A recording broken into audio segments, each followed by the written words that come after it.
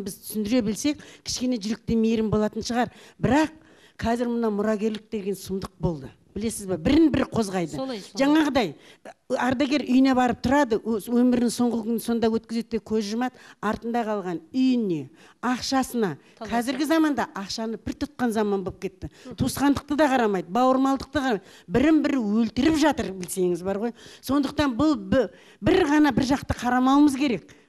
Кішкене жақты жан жақты ой пікір таласқа келтіріп соның ішіндегі дұрысын адамның құқығын бұзбайтын жүрегіне жара салмайтын жаңағы айтқан бір дұрыс жолын алуымыз керек. Бұл заң қабылданған жоқ қой енді қабылдануға пікір талас. Сондықтан дұрыс ойларыңыз шындығын адамның, айтыңыздар. адамның құқығын бұзу адам мінекей осының өзі адамның құқығын бұзу жүрегіне жара салу деген осылай болып отыр.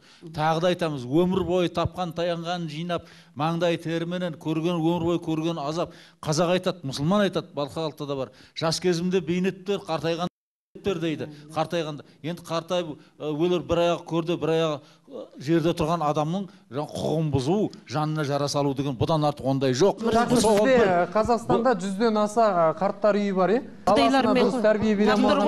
олай емес олай емес. Бұл жаңа міне мына үлкен кісі де дұрыс айтты. Атамыз өмірдің атты қиыншылығын көрген адамдар тұрып жатыр. Баспанасы жоқ. ол атамыз айтқандай жаңағыдай баласына дұрыс тәрбие бере алмағандықтан тұрып жатыр деп айтуға келе ма жоқ оғыстың әңгіме басқа әңгіме Да. бұнымен бірімен бірін дұрыс керек. мұндағы тұрып жатқан адамдардың көпшілігі мен білетінім. Иә баласыз немесе жеке басты адамдар баспанасыз Иә. адамдар. Ы, бір ғана өзінің азын аулақ денсаулығына көбісінде денсаулық жоқ. Бұл жетіскендігінен барып отырған жоқ ол жерге. Бұл паналап барып отыр. Иә. Бас сауғалап барып отырған Дұрыс. жер. Құдай басқа бермесін ондағы барған ал енді мырзеке міне. Ләззат ханымнан сұрайық қарттар үйінен сыртқа шығатын шығын қаншалықты? Балалар келіп алып тұра ма? Ә, бұл жерде негізі 2011 жыл жаңа айта кеткен заң бойынша 2011 жылға дейін баласы бар кісілер келген. 2011 жылдан бастап заңға өзгерістер енуіне байланысты қазіргі таңда біз ә, жалғыз басты баласы болған жағдайда да ә, шетел е- азамат ә, шетелде тұратын азаматтар болса ғана қабылданады. Ә, бізде ә, ондай бір баласы болып ә, қараусыз қалған деген жоқ. 2010 жылға дейін болған ба, ә, балалар ба ол- сол уақытқа дейін кірген кісілер ол балалар бар кісілер. Бас тартқан жағдайда мысалы бір кісілер бар бір қызы бар ол кісі ә, ата анасына қарай алмайды. Ә, күйеуі бар деген сияқты отбасына жағдайына байланысты қарай алмайтын кісілер ол 2010 жылға дейін болған ондай жағдай. А қазіргі таңда ондай ә, кісілер бізде жоқ.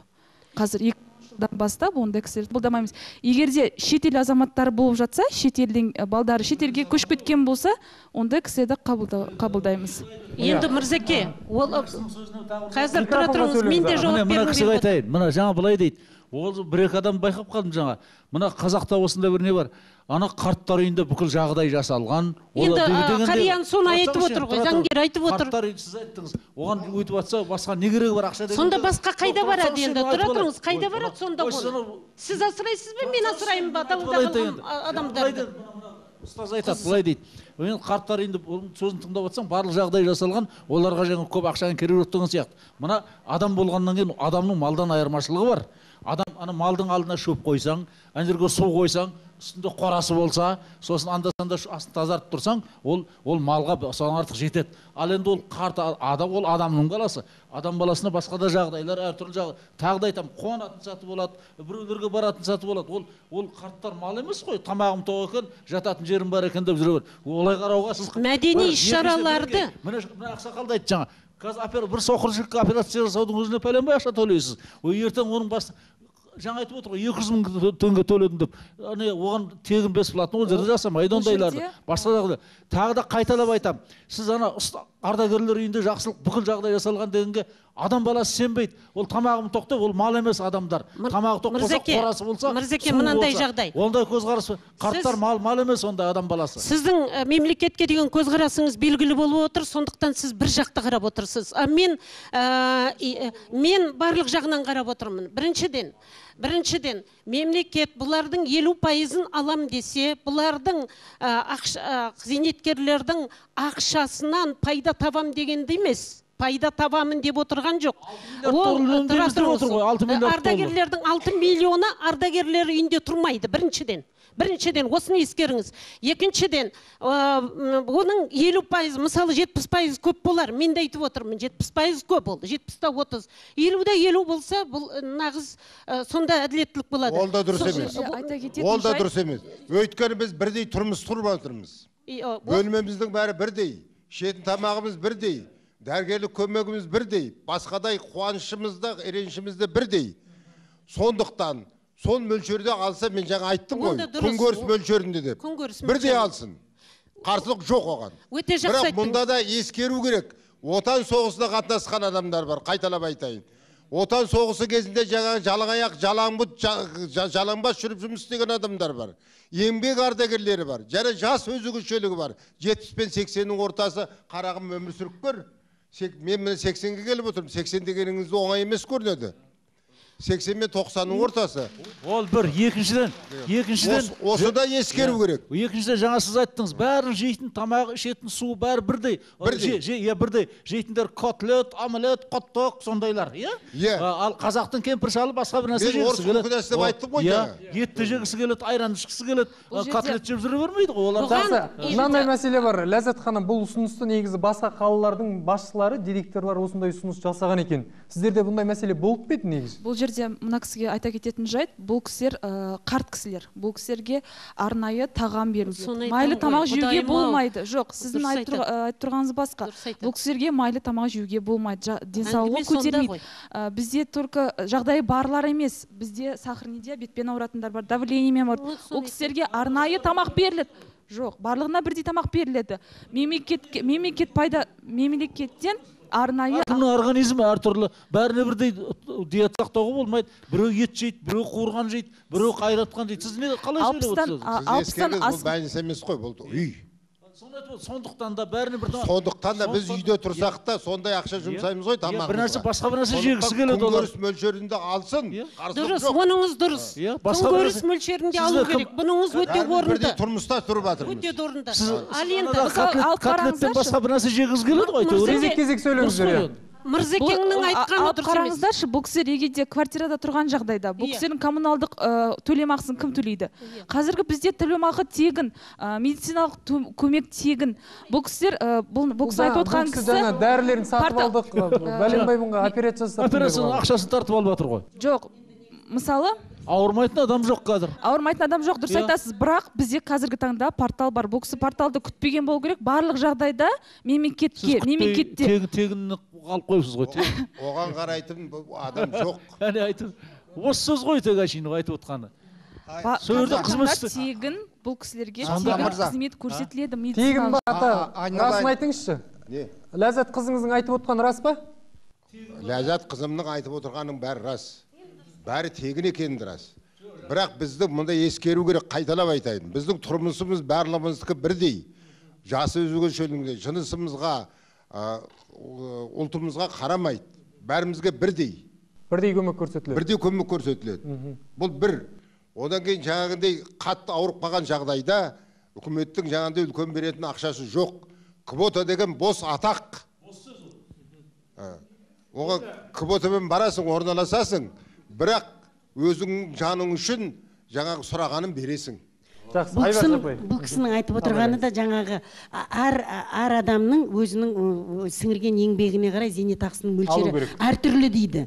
Сол бірақ сол әр, әртүрлі болса да дұрыс айтып отыр. Бұл кісі дұрыс негізінде логикалық дұрыс ә, не тұжырым жасап отыр. Себебі мысалы 150 мың алатын ә, зейнетақы алатын кісіден 70 процент ұстаса 70 пайыз ұстаса 30 мың пенсия жаңағы зейнетақы алатыннан. 70 процент 21 ұстаса да мысалы да а ол енді былай ә, мөлшеріне сома мөлшеріне қарағанда әртүрлі болады ғой.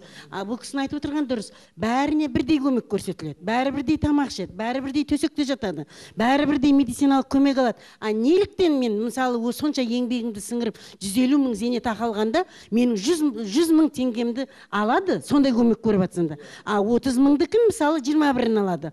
Сондықтан жаңағы айтқан ең төменгі, мөлшерде прожиточный минимум деп отыр ғой. Жаңағы өмір сүруге керекті соманы алса біз ы, оны ы, қарсы емеспіз деп. Келеді яғни біздің бұл жерде пікірталастан шығарып жатқан тұжырымымыз сондай.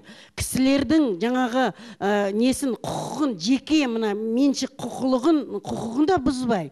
Және көңіліне қаяу да түсірмей. Сондай бір қажет мұқтаж болып жатса сондай көзқарастан шығуға мүмкіндік бар деп айтып отыр. Бірақ ол ол пікірталас. Ол келіп шындығында дұрыс айтып отыр мына жерде пікірталаста соншама жыл өмір сүріп ар жағында қанша күн өмір қалғанын алла біледі. Соның қалтасында қалған отыз қырық мыңды алып ешкімге сонша бір ә, жақсы жарқын өмір жасалына қоймас. Оған қарамай басқа бір ә, не дейді ана варианты дегеніміз не? Бас, басқа бір түрін нұсқасын қарастыру керек шығар бұл жерде жақсы. Ата. Мен сіздердің айтқан барлық варианттарыңа келіспеймін. Неге? Осы міне мынандай қариялардың кәрі қойдың жасындай уақытсы қалған уақытта енді бір бес он жылда қалғанда сол өмір бойы тапқан табысының қалтасына қол салу қандай жараған адамның ісі тегі? Сол ғой осы ешқандай ұсталмасыншы. Жаңағы жиырма төртте ұсталмасын Дұрыс. минимумда Сол ғой, ұсталмасын соны айту. осы қарияларға мемлекет тиіспесінші. Сол. Жақсы мырзан аға мына хабарымыз қорытылды. Енді мен әңгіме қорытындымды айтайын. Мен Жақсы. өзімнің ойым Иә, қорытындылаңыз ойыңызды. өзімнің қо- қорыта айтқанда мына ақсақал дұрыс айтып отыр. Бұл тіпті талқылауға болмайтын нәрсе. Ләззат ханымға тоқталайық. Иә иә. мен жаңа сіздің айтқан сөзіңізді алып кетейін. Біз негізі әлеуметтік қызмет алушылардың ә, екі түрлі бар. Ол ақылы және ақысыз. Бұл кісілер ақысыз ә, түрінде жатады. Ақылы түрінде ә, А- астана қаласында астана қаласында бар ақылы түрде. Қателеспесем айына елу, елу екі мыңнан келеді. Ә, сондықтан да бұл кісілердің мен айтайын дегенім ә, егер де квартирада тұрғанда ә, пәтерде тұрған жағдайда ә, коммуналдық ақшасын төлеу керек ә, медициналық жағынан төлеу керек ақшасын ә, тамағы ол бөлек есептеледі. Сондықтан да ә, бұл күн көре алмас еді күн көре алмас еді иә. Бұндай ақшамен өте зат а, зар, ә, пе- зейнетақылар аз өте. Жақсы зубайда ханымға беріңіз жаңа мен өзім ойымды айттым негізінде қарттардың ә, бұл кісілердің еңбегі а, зейнет ақы ол ә, бүкіл еңбек жасаған еңбегінің ақшасы емес қой. Зейнет ақы сол жасаған еңбегінің бір білмеймін бір нөл бүтін нөл бірдеңке пайызы ғана шығар. Иә сондықтан да бұл жерде қарттардың зейнет ақысына тимеу керек. Айбарша ханым сіз не дейсіз? Менде Бір ауыз. әрине ә, құқықтық көзқарастан қарағанда әрбір жеке адамның құқығына ешкімнің қол сұғуға ә, құқығы жоқ. Аха жақсы. Гүлбану апай сіз қазір ата тыңдаймыз. Мен дұрыс дұрыс. мен өз ойымда өз ойымда қаламын зейнетақының белгілі мөлшерін сол адамның өзінің мүддесіне э, жұмсауды көздеп отырған ә, бұл заңның әлде де жетілетін жетілдіретін тұстары бар қайтадан қарайтын тұстары бар. Бірақ ә, белгілі бір мөлшерін ә, сол ә, зейнеткердің өзінің мүддесіне жұмсауға бағытталып отыр. Жақсы ата енді сіз не дейсіз? Ардагерлер үйім үйін елбасымыз ұйымдастырғанда қарттарымыздың қалған күнін өмірін жақсылықта еш нәрсеге қиналмай өмір сүрсін деп ұйымдастырған болатын. Еліміз аман болсын елбасымыз аман болсын. Алла ақсақалды аталарымыз бен ақ жаулықты әжелеріміз жасында қаншалықты бейнет берсең қартайғанда соның зейнетін көрсете көр деп жаратқанға жалбарынып отыратынына талай куә болдық. Сондықтан қарттардың қалтасына қол сұққанша керісінше қамқорлықты күшейтуіміз керек. Шындығы сол ағайын.